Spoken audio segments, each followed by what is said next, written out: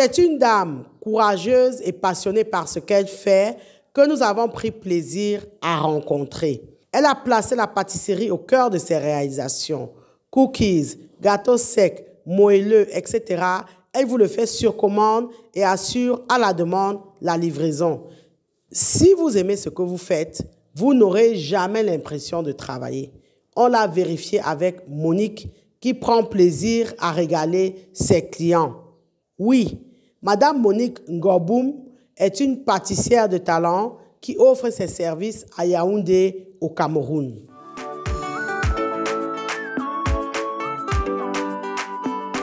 Voilà, mon nom c'est euh, Monique Gislaine Ngoboum. Je suis pâtissière de formation, formée euh, aux États-Unis. Il a sorti de l'école il y a 20 ans et euh, dans la pâtisserie, le domaine de la pâtisserie. Et euh, je suis rentrée au Cameroun, ça fait 20 ans, en décembre. Et après avoir tâté un peu de tout, je me suis dit que je me spécialise dans les cookies, que je ne vois pas en fait beaucoup dans notre quotidien, mais qui pour moi sont euh, une partie de la pâtisserie qui euh, pourrait être aimée et explorée parce que ça peut faire entrer plusieurs euh, éléments notre terroir. Voilà.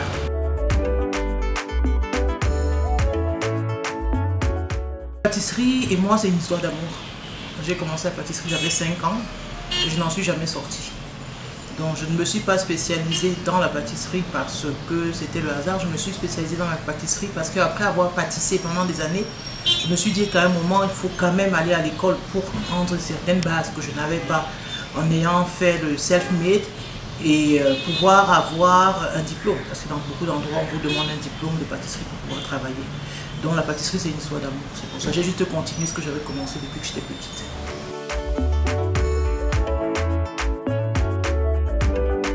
Les gâteaux, oui. Les cookies, non. Parce que les cookies qui sont typiquement américains, si je peux dire, de l'Amérique du Nord, arrivent chez nous petit à petit.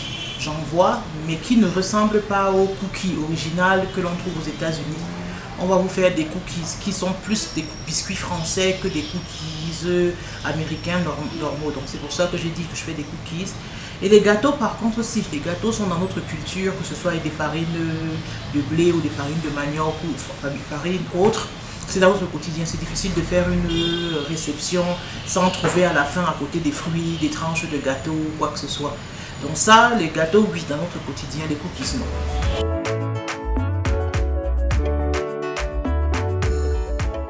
Je pense que tout le monde peut acheter, ça dépend de, la poche de tout un chacun et que ce que tout un chacun décide de faire. Je fais mes cookies, trois cookies à 1000 francs. Je fais des tranches de gâteau à 500. Je pense, à mon humble avis, que euh, tout le monde pourrait se l'offrir si vraiment les gens la volonté. C'est tout ce que moi je peux dire.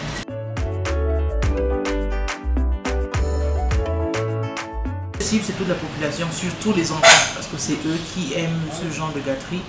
Et surtout les parents qui ont des enfants qui vont à l'école, parce qu'un paquet de cookies ou une tranche de gâteau et un yaourt, ça fait un repas complet pour le, goûter. Quel que soit ce qu'on peut penser au tir, il y a du lait, il y a du beurre, il y a des œufs. Dans certains cookies ou certains gâteaux, il y a des fruits, de noix de coco des fruits confits ou de l'ananas. Donc, euh, quelque part, c'est équilibré. C'est des produits sains, c'est des produits naturels, c'est du beurre, c'est des œufs qu'on vend chez nous, c'est de la farine qui est faite ici, c'est du sucre qui vient de chez nous. Donc, on, contrôle toute la chaîne. Je contrôle toute la chaîne de ce que je mets et dans mes, pâtisseries. Je, dirais, comme on dirait en France, c'est de la pâtisserie artisanale. C'est pas de la pâtisserie industrielle, c'est vraiment artisanal. C'est pour ça que la durée de vie de ces cookies au gâteau ne sera pas de 3 ou 4 ans comme ce serait pour les biscuits industriels ou gâteaux industriels que l'on trouve dans les, dans les supermarchés, les grandes surfaces.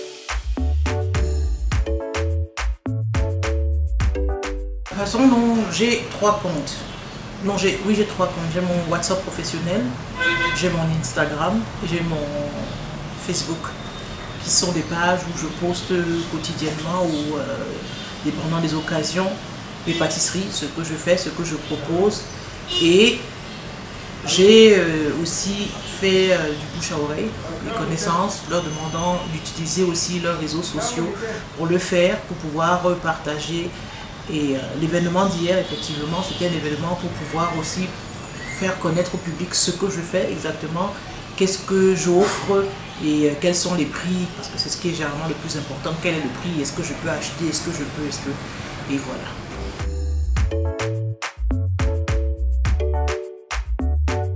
Cookies, je l'ai fait parce que je me suis rendu compte que sur le marché local, nous n'en avons pas. Nous avons des biscuits et nous avons des cookies. Les cookies ne sont pas des biscuits. Il ne faut pas qu'on fasse cette confusion. Et je me suis dit, vu qu'il y a une niche et qu'il y a une ouverture, pourquoi ne pas proposer mon savoir là où les gens ont entendu parler, ont vu, ont goûté à l'étranger, mais ne savent pas que localement ils peuvent trouver.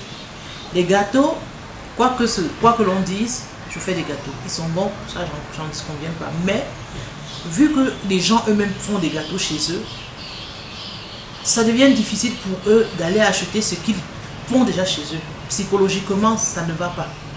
Oui, j'ai fait des gâteaux, oui, ma femme de ménage fait des gâteaux, oui, j'ai une, tante qui fait des gâteaux. Donc, on ne va pas penser à commander les gâteaux. Les cookies, on n'en fait pas. Donc, les gens, et moi, c'est c'est le rendu que j'ai eu hier de l'expérience, c'est que les gens préfèrent les cookies parce que, premièrement, c'est une découverte. Deuxièmement, c'est quelque chose qu'ils ne savent pas faire et qu'ils préfèrent acheter, puis c'est rapide. Comme me disait quelqu'un, tu commences à manger un, tu arrives au troisième, tu ne t'en rends même pas compte. Et le goût est différent et la différence et la nouveauté et la surprise sont toujours quelque chose qui soit attrayant. C'est pour ça que je me suis mis dans les cookies.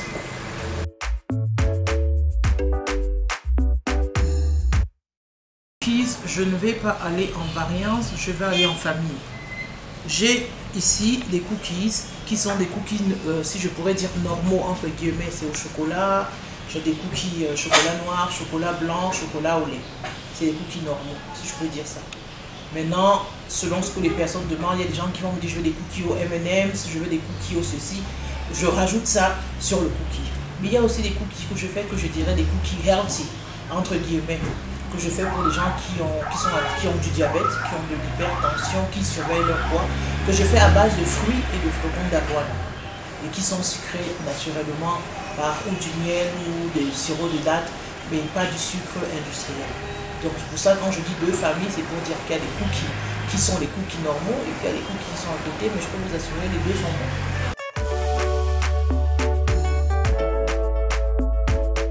Des a priori. Les gens pensent que le cookie coûte cher. Que non, si je n'ai pas telle somme, je ne peux pas me, faire plaisir, je ne peux pas cela. Ça, c'est des a priori. Les gens ne demandent pas. C'est ce que j'ai constaté, ne pose pas de questions. Ah non, ça doit être cher. Ah non, comme il y a du beurre, c'est comme ceci. Mais demande d'abord et on va te répondre. Là, tu sauras. C'est la première difficulté. La deuxième difficulté, c'est le prix sans cesse croissant des matières premières. Je parle du beurre. Je préfère utiliser le beurre parce que ça, ça change la texture. Ça vous donne une texture de cookies que moi j'attends. Mais le beurre n'est pas évident parce que nous ne la fabriquons pas. du coup, il est difficile par moment parce que les prix sans cesse grandissant de ces matières premières, le blé par moment, le sucre par moment, qui sont les bases, les, ingrédients de base, depuis un certain temps, les prix grimpent. Se dépasser une difficulté que je rencontre. Sinon, je ne peux pas dire, quand j'en parle, j'en vends, je ne, pas, je ne peux pas dire que j'ai de grosses difficultés.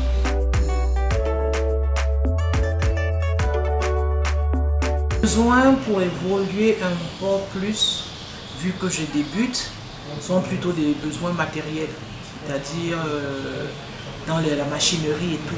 Mais aussi qu'il y a une difficulté parce que c'est pas évident d'en trouver. Parce qu'on n'en fabrique pas, on n'utilise pas vraiment la, la majeure partie des boulangeries, des pâtisseries, je me suis renseigné par rapport au matériel, le fond venir de l'étranger. Donc pour le moment c'est ça. Deuxièmement les emballages. Oui on vous propose des emballages, mais par moment la qualité ne suit pas complètement. Au départ vous recevez et sur la durée on commence à vous faire des petits ajustements pas très simples, si je peux dire ça comme ça. Et vous, vous êtes déjà habitué, vous avez vos macarons, vous savez qu'ils sont comme ça, vous recommandez, on vous envoie ce qu'on n'est pas demandé, on a fait une erreur et vous, vous avez des livraisons. Donc ça, c'est ça dont je parle.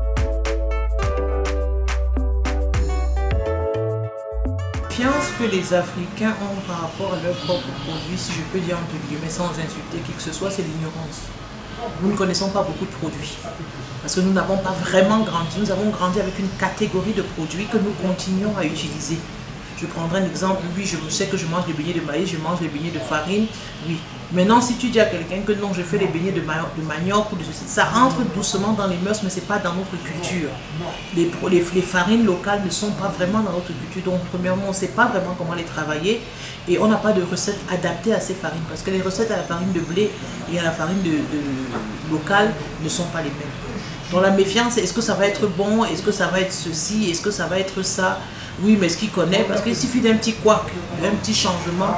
La personne dit non, mais j'avais acheté, c'est pas la même chose que j'avais. Du coup, on devient méfiant envers tout. En fait, c'est une, une généralisation. Si j'ai eu une mauvaise expérience, non, les produits camerounais, parce que j'ai eu une seule mauvaise expérience. Donc, moi, ce que je dirais aux gens, c'est que vous avez une mauvaise expérience, ça ne veut pas pour autant dire que tout le monde est identique.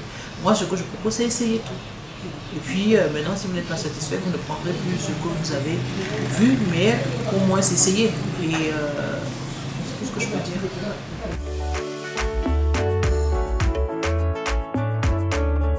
pas de choix. Pour moi, il n'y a pas de comparaison. Si l'on veut dire le, les cookies du commerce et le mien, il n'y a pas de comparaison. Un industriel et un commerçant, ce n'est pas la même chose. Il n'y a rien à voir. L'industriel va toujours te rajouter du chimique pour la conservation et pour la longue durée. Mais sur la longue durée, à un moment, la qualité du produit déprécie parce que c'est resté là, le conditionnement, l'humidité, le froid, la chaleur, tout ça font que le cookie que tu as au final, même s'il te revient moins cher, ce n'est plus bon. L'artisanat, c'est différent. Il a une durée de vie limitée. Il est excellent parce qu'en général, l'artisan va te prendre des produits de qualité, des produits frais et va avoir un conditionnement qui permettra, quand je dis conditionnement, ça veut dire son lieu de travail sera propre, sera sain parce que lui-même, il vit.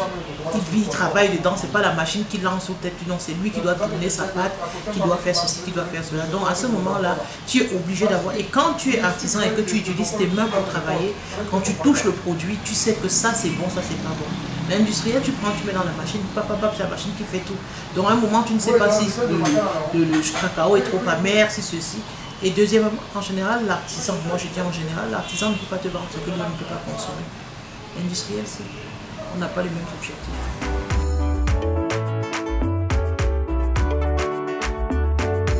Je fais des cookies. Dépendant des cookies, je vous donne le prix de base. C'est 350 francs un cookies à la base. Maintenant, si vous en rajoutez euh, d'autres confiseries, ça ne sera plus la même chose qu'un seul cookie au papier pépite de chocolat. Ça ne sera pas la même chose si je fais un cookies au flocon d'avoine et au raisin sec ça sera sûrement pas le même prix. Donc, euh, je vous donne le prix de base, 350, à partir de 350 les cookies et les gâteaux à partir de 500 francs. Maintenant, j'ai des gâteaux, euh, je ne peux pas vous donner un, un éventail parce que comme on dit aux États-Unis, sky is the limit. Vous pouvez décider que moi je veux un gâteau qui a des pépites d'or et tout, je ne vais pas vous dire que je ne peux pas le faire. Mais je ne peux pas vous donner un prix parce qu'il faudra que je cherche quel est le prix du pépite d'or. Vous pouvez me dire, moi je veux un gâteau qui a 4 chocolats. Je ne peux pas vous dire que j'ai fait un cas chocolat puisque c'est votre souhait. Donc là, je vous donne la base et maintenant, c'est à vous de voir. Le gâteau nature en entier, il a 5000. Maintenant, dépendant de ce que vous ajoutez, ou du chocolat, ou des raisins, ou des fruits confits, ou des amandes, ou des noisettes, le prix sera différent. Le prix d'un paquet d'amandes est à 2700, le prix d'un paquet de noisettes est à 4200. Donc je ne peux pas vous dire voilà, voilà, voilà, parce que ça dépend de vous. Mais vous décidez. Moi, je vous dis voilà ma base. Ma base, c'est 350 de cookies et 500 francs la tranche de gâteau, 5000 francs le gâteau entier. Maintenant, dépendant de ce que vous voulez ajouter, le prix va changer. On discutera, il y a toujours un échange possible.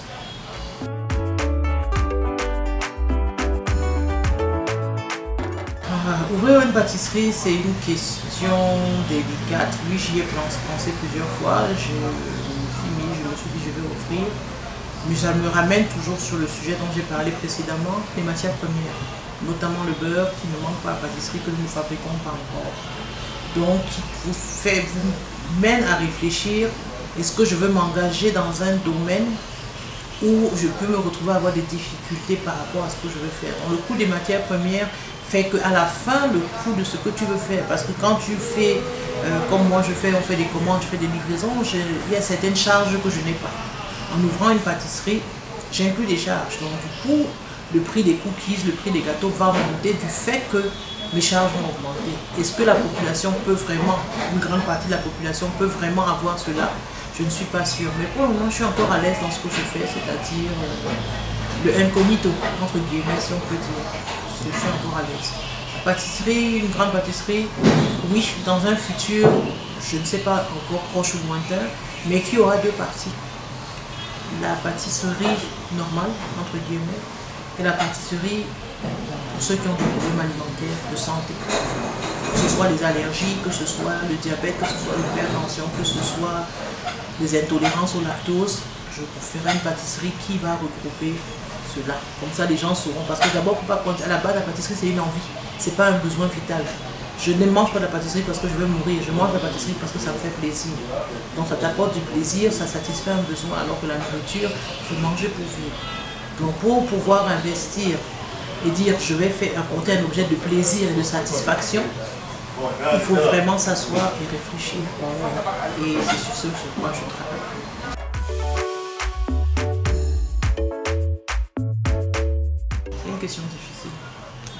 Un modèle qui m'inspire, c'est une question difficile parce que je prends un peu de chacun.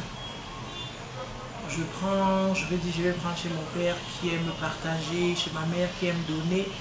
Euh, donc moi, le but en fait de donner, en donnant, en faisant mes pâtisseries, c'est c'est pas vraiment ce que la, la, personne, la personne m'apporte comme argent, mais c'est que quelqu'un me dise non, j'ai mangé tes cookies, ils étaient excellents. Ça, par contre, ça me fait du bien. Me dire euh, j'ai acheté, non dont mon père, ma mère sont mon modèle. Et beaucoup aux États-Unis, la mentalité américaine. Même si tu tombes, tu recommences. Tu tombes sept fois, tu enlèves huit fois. Ça, c'est. Donc, j'ai pas de personne spécifique, j'ai plutôt une mentalité. Tu continues à forcer, tu continues à forcer parce qu'à la fin, tu vas toujours trouver la clé qui ouvre la porte. Toute porte a une clé.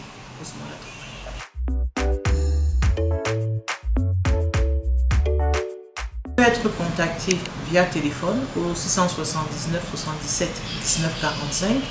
J'ai une page Instagram qui est euh, Ghislaine Sweet et j'ai aussi une page Facebook dont vous, vous verrez le lien tout à l'heure. C'est comme ça que je peux être contacté.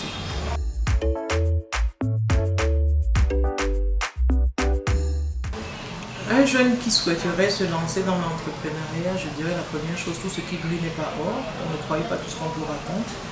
Il faut beaucoup d'abnégation, beaucoup de travail, beaucoup de persévérance, surtout beaucoup de persévérance parce que beaucoup de portes ne vont pas s'ouvrir directement. Croire en ce que tu fais, pas faire parce que l'autre a fait, ça lui rapporte de l'argent. Faire parce que c'est ce que tu veux. Quelque chose où on peut te réveiller à minuit et te dire va faire, tu te lèves et tu vas le faire. Penser que tu vas faire des heures supplémentaires, penser que tu vas t'investir. Donc un jeune qui vient en se disant dans six mois je serai riche parce que je fais qu'il se réveille, doit très vite, ça ne marche pas comme ça. Il faut que tu étudies ton produit, que tu étudies ton marché, que tu t'investisses. Mais moi, les deux conseils, que les, deux, les deux principales qualités dont je parlerai, c'est la persévérance et l'amour du travail a fait. Soutenir un entrepreneur, c'est commander ses produits ou ses services. Une chose est vraie, si nous souhaitons développer un tissu économique africain performant, nous devons avoir le réflexe de soutenir nos entrepreneurs locaux. Au lieu d'acheter des cookies importés dans de grands supermarchés de la place, pensez à les commander chez Nika. Pour les avoir goûtés, nous pouvons vous certifier qu'ils sont délicieux et faits avec passion. Oui, on ressent la passion dans la confection quand on mange ces cookies ou ces gâteaux secs. Merci de liker et surtout partager la vidéo afin qu'un grand nombre de personnes soient informées de l'existence de Nika. Nous vous encourageons particulièrement à partager nos vidéos en ce moment parce que notre chaîne semble restreinte. Commentez également la vidéo si vous avez des encouragements à faire à Monique ou alors si vous souhaitez lui apporter des critiques constructive. Abonnez-vous à Grid TV Web et activez la cloche de notification pour ne pas manquer nos prochaines publications. Et rappelez-vous toujours et toujours que savoir est le point de départ, mais c'est agir qui fait et qui fera toujours toute la différence. Maintenant que vous savez, place à l'action.